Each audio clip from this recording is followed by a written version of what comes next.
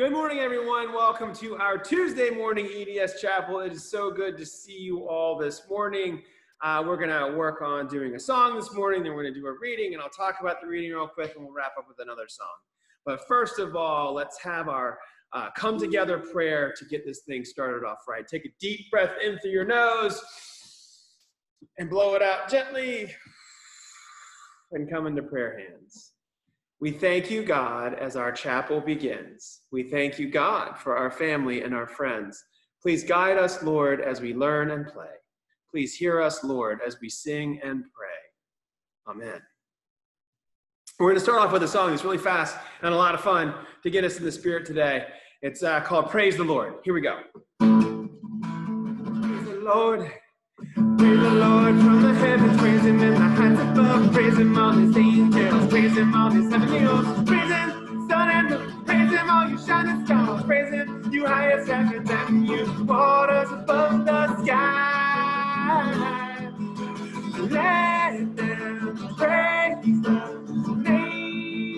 Lord. Praise the name of the Lord for he commanded and they created. Yeah, yeah, yeah, for he commanded and they created. Yeah, yeah, yeah. Praise the Lord. Praise the Lord from the heavens, praise Him in the heights above, praise Him Hosts,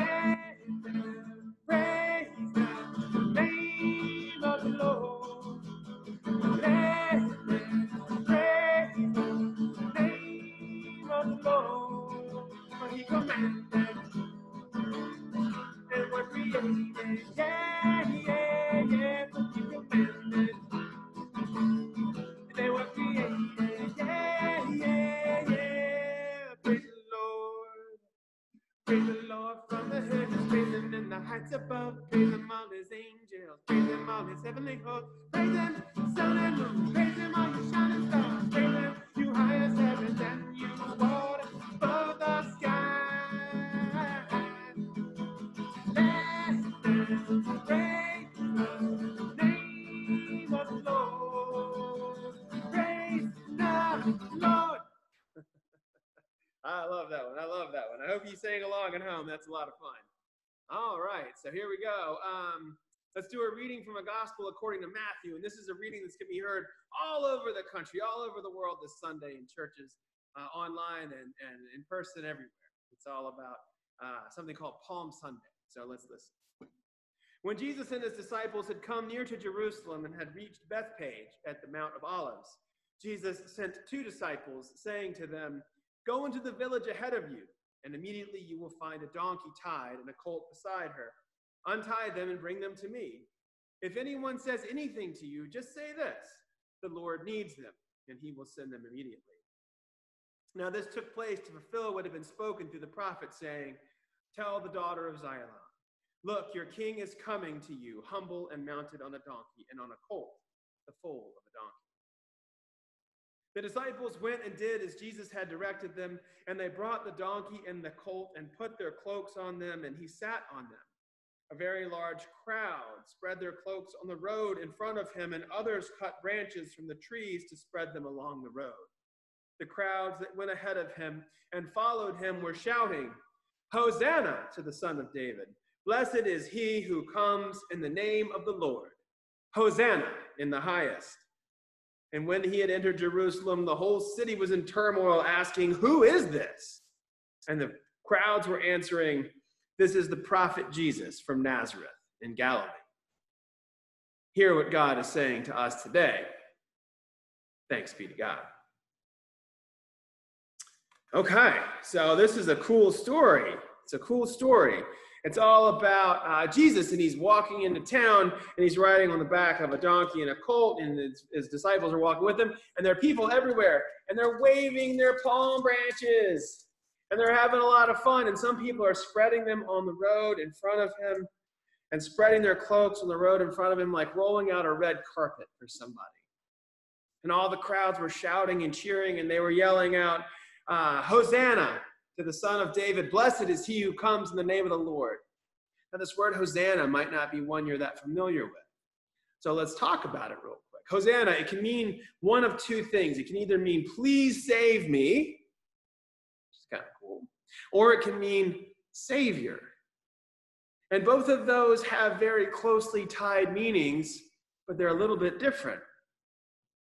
Imagine there's a kid who's in a swimming pool, he's over in the deep end, and he can't swim that well. And he kind of panics, and he starts to go under the water and he can just get his head up high enough and he yells out, Oh, save me!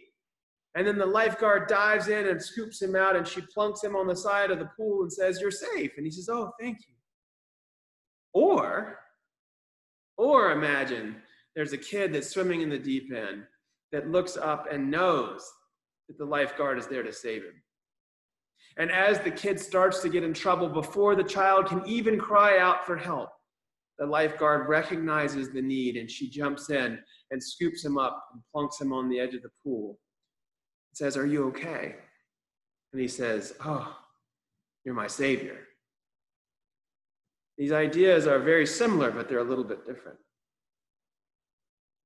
Well, regardless of whether the crowd was calling out, Please save me, saying that they wanted Jesus to do something to change the, the lives that they were leading and change the way that they were having to live under the, the Jewish custom and rule, or, or if they were crying out to him saying, We know that you are our Savior, we know that you're sent here to save us, regardless of how they meant it.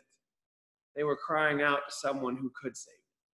And they were excited and they were shouting and they thought, here it is. Finally, this person, this, this famous person who has done all these wonderful things all over Israel, is coming to Jerusalem, coming to the capital city.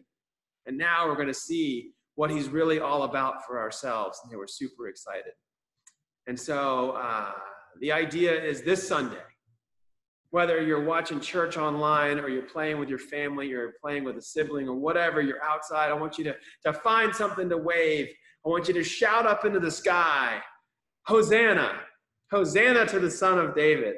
Blessed is he who comes in the name of the Lord. And I promise you, I promise you, if you do it, that God will hear it and Jesus will hear it and up in heaven crack a big smile. That's the good news for today. Amen. All right, let's do one more song and then we're going to call it a day. And I hope that you all have a wonderful day. Uh, be good to your mom and dad, be good to each other. And um, this is the day that the Lord has made. So let's sing that, okay? Here we go.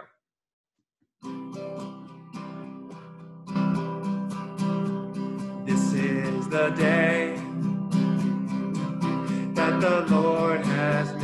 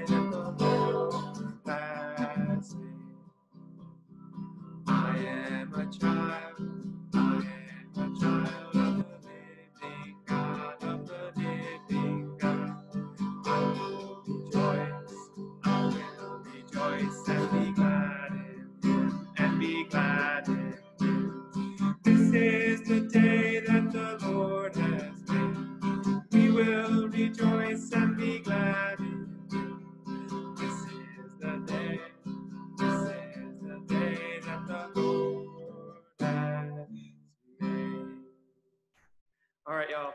Have a wonderful day. I'll see y'all in a couple of days for the next chapel.